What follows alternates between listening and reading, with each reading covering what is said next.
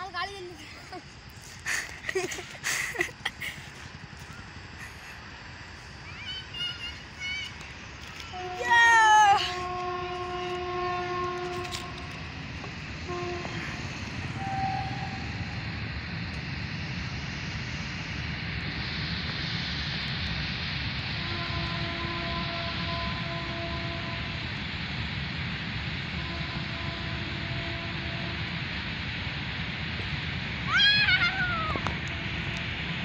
वाले मुल्क में ही है दे दो डालूँगा तो वीडियो को